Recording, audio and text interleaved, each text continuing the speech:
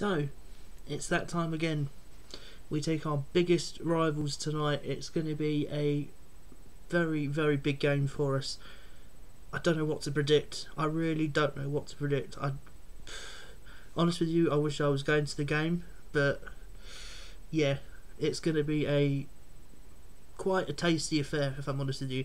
Hope you like the new scoreline, by the way, just in the top right hand corner. Looks pretty decent, if I'm honest with you. Um, so yeah, come and join me for this preview. Let's hope we um, get a good result tonight.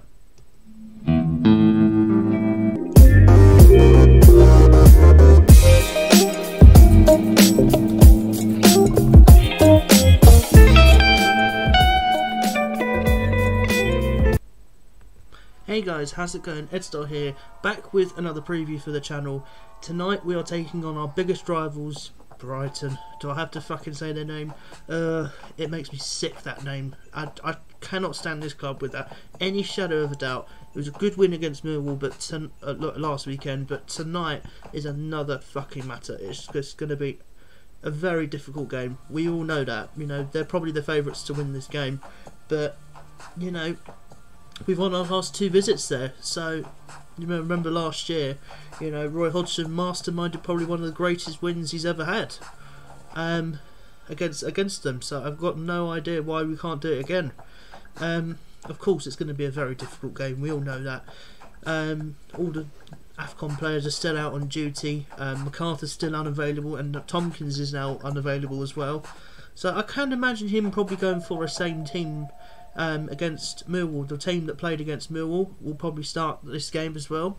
Um, probably maybe with a couple of changes. I'm not 100% sure who he's going to go for, but I can imagine he will probably go to a very similar team, you know.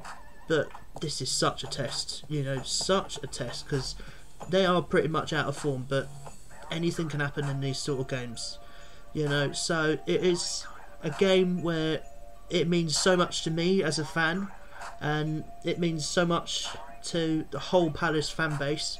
You know, we cannot lose to them. We just, it just, it's just, it's a sin. You know, you're committing a crime if you lose to them because we will be on your backs. We do not want to lose this game. You know, it is such a important game. People will not understand this rivalry. Okay, I understand people will think, what, what's, what's the, why they, what is the derby? It's, it's something about the 80s. Okay, to put it to put it bluntly, they had an incident in the 80s that they didn't like us, so we didn't like them. To put it put it to put it lightly.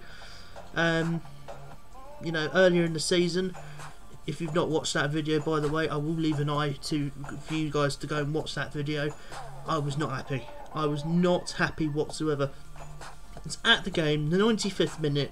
Guaita kicks it fucking into midfield when he should be kicking it into row fucking Z anywhere away from him, anywhere, and he kicks it straight to an opposition player. And guess what?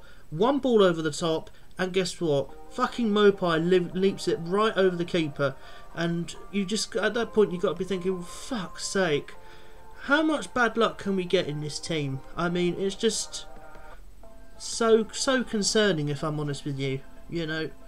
But you know, we are we're probably we're 12th right now, and I've said I said at the start of the season I will happily take a 12th to 13th place finish right now, but I'd love to finish in the top half. You know, if we can find that form, if we can find that, you know, resistance, you know, to get into the top half, that would be lovely. That would be really top my season off, if I'm honest with you. Um, so I'm going to do a very quick predicted 1 to 11. Um, let me know your predicted 11 in the comments down below. Um, for me, I think he will go with Vicente back in goal he will go with. I think he'll go with the same back four: uh, Mitchell, Guehi, Andersen, and Ward. I think he won't. He won't change that, especially for a game like this. It's a massive game. Um, but in in uh, centre defensive midfielder is apparently where I think changes are going to need to be made. Anybody but Luka Milivojevic, please, Vieira, stop sucking him off. He's not good enough. He is not good enough for this club, and he still gets picked picked every most weeks.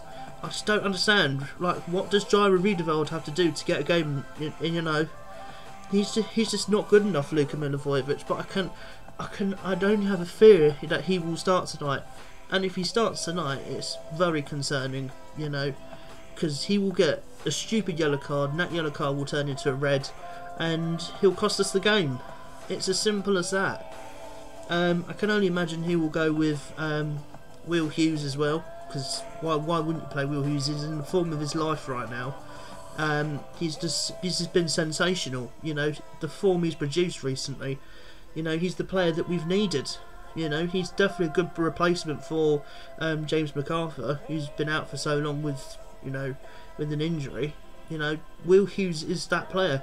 He knows where to find the pass. He knows how to defend. He knows where to be. His his brain power is just extraordinary, and that's what I really appreciate in in, in a midfielder. You know, um, I can imagine he will probably go with Conor Gallagher because again, one of our best players without a shadow of a doubt. Got such an exciting team. You know, we've got so many good players in good positions where we don't really need to strengthen. You know, the only two positions that I'm curious about, um, if I had an opportunity, if it was me I was a manager, I would probably get a backup left back, you know, to give Mitchell a bit of a break because sometimes he does get a bit tired. Um, and I would also go for a right back as well because I don't think Joel Ward's good enough. But that's just my personal opinion. Don't get offended by it in the comments. Um, yeah, that's just my personal opinion on that. Um, I'd imagine he will go with Odsonne on the left, um, he will probably go with. I don't think he will start with Mateta. I think he will go with Benteke for sure because Benteke thrives in these sort of games. You know, he knows where to find the back of the net. He done it last year, so why wouldn't he start tonight? Um, and then I can imagine him. He will start.